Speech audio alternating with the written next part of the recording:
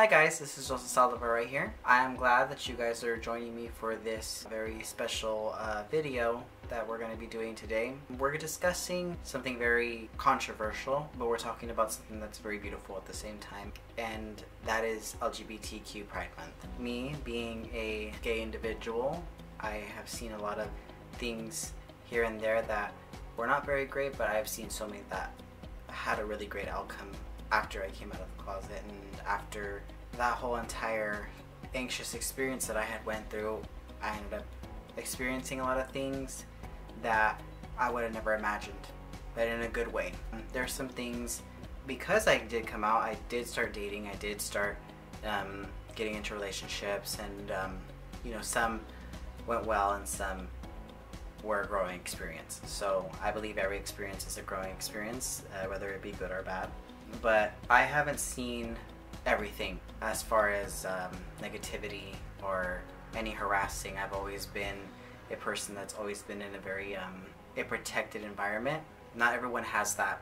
So um, this video is mainly to celebrate people who have been a part of the LGBT community, but people that have also struggled. And I want to capture a lot of things in this video that show what we deal with and it's not every day that we see something really bad, like someone coming out and harassing us, or someone calling us bad names, or someone seeing our lifestyle as something bad. A lot of people misunderstand it. Um, everyone's entitled to their own opinion, and um, sometimes that opinion could have someone lash out in a very negative way. A few years ago in Orlando, Florida, there was a uh, mass shooting where several lives were killed at the Pulse nightclub, and it left a mark on gay history. So many lives were lost, and not all of them were LGBTQ. A lot of them were mothers, a lot of them were sons and daughters.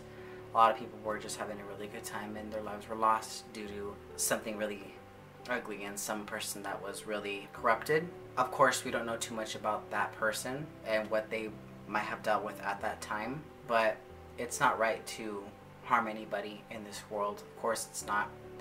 But I believe that we as a community should always love each other. And whether you're not gay, straight, or bisexual, or lesbian, or transgender, and, or any of the categories that we see in LGBTQ pride, we should all go out there and love each other, no matter what the difference is. And yes, we are entitled to our own opinion. And yes, we are going to have some bad opinions and we're gonna have some bad thoughts about some people and stuff like that but that doesn't have to be the everyday thing. That could also have a good outcome. It could also we could swallow our pride and say you know what? I'm open-minded. I understand. Or we should be willing to understand one another. But let me just end the rambling first. I want this video to capture the beautiful parts about pride. On june 1st of this month my local city celebrated its lgbtq pride festival and the festival went on all day. Uh, it had a wonderful parade. Um, everyone came, got along, everyone was really nice, and the experience was just overwhelmingly fun, and just the, the love was great. Um, and I happen to capture that right now, so you guys are going to see my whole experience at the LGBTQ Pride. And as the video goes on, we're going to discuss um, some very special moments, um, historical moments, historical landmarks um, that have dealt with LGBTQ and um, icons. And we're going to have uh, stories from people that what Pride has meant to them. So hopefully you guys enjoyed this.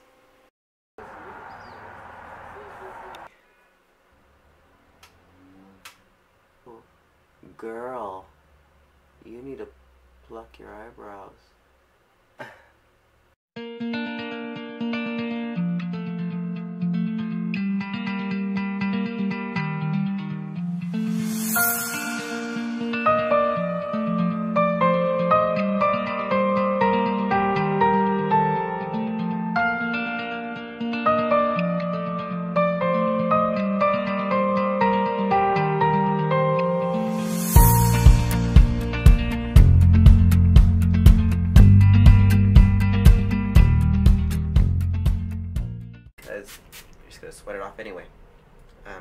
Hot today, so hopefully um, we're gonna look good. So what I'm gonna do is I'm gonna put some finishing touches on this, and then I'm gonna put the outfit on, and you guys are gonna see that when we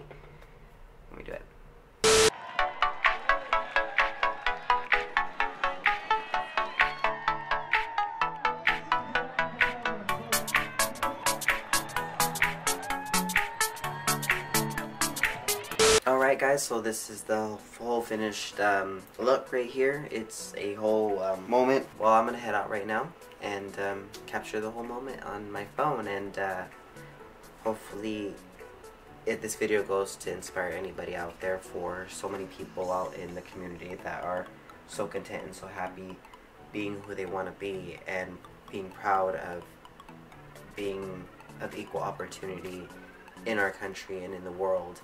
I just hope that you guys take this as an example to see how happy people can be. And of course, there's struggles out there. There's always going to be struggles out there.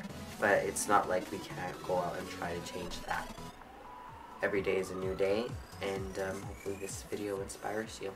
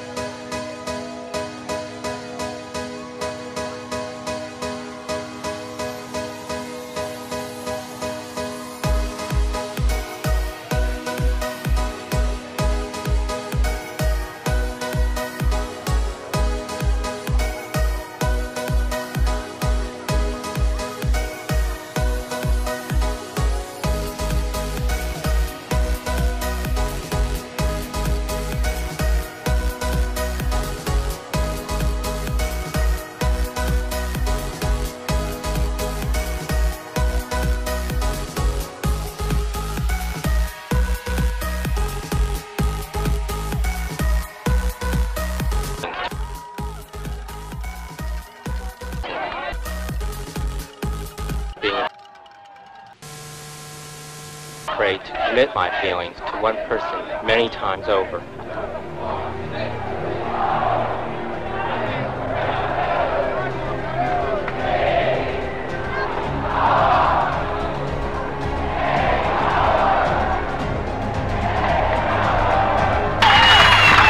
There are 15 million lesbians and gay men waiting to hear your voice. We are coming out of the closet. When are you going to come out of yours? So don't become some background noise, a backdrop for the girls and boys who just don't know or just don't care and just complain when you're not there. You had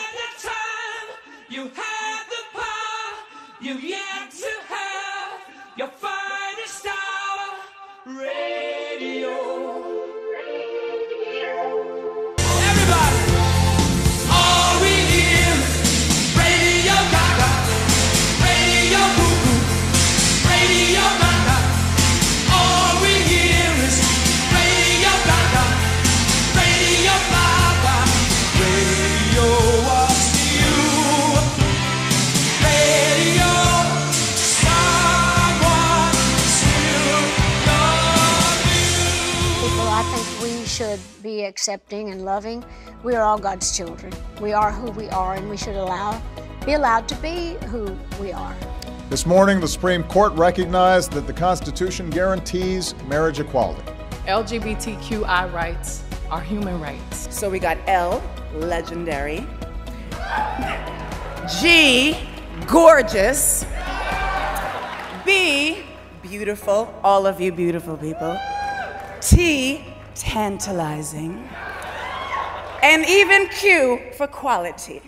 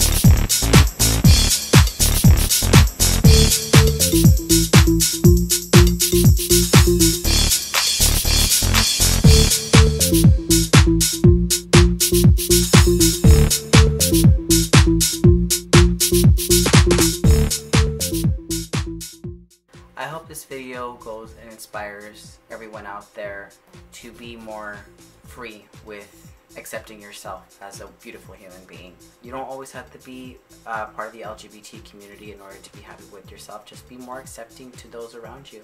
We have to learn to love one another and it's something that this world is missing and especially now we have to love one another and we can't be fighting all the time. We have to learn how to accept that everyone's beautiful colors of their personalities and everyone's uniqueness and magic that we're supposed to bring forward. So hopefully this video goes and inspires generations and generations and even when we're long gone I hope people still make the time to make videos like this one. And um, happy Pride Month everybody and I love you guys very much. Uh, thank you for giving me time to celebrate Gay Pride. Fresno police stepping up patrols at a popular Fresno LGBTQ community nightclub after threats on social media. Comments targeted Fab nightclub, saying it would be the next Pulse. The Pulse massacre happened nearly three years ago in Orlando, Florida. Detectives are working overtime trying to locate the suspect. They found LeChuga through an IP address in a Gmail account. Now, Dyer said they believe these threats were real. LeChuga have the capability of carrying out those threats here at the Fab Gay nightclub. We have prevented uh, what could have been uh, a mass shooting. In one of the messages, LeChuga writes, Get those metal wands ready. We will make an appearance tonight. You won't know who we are, but we will be watching. Police serving a search warrant at LeChuga's home in Selma. Detectives finding several handguns and ammunition. We were able to retrieve thousand, over a thousand rounds of ammunition and firearms, so LeChuga certainly had the capability of carrying out this threat. I'm not going to let someone bring fear into my life. We're not going to let people do this to us again. We're going to be bold and stand strong.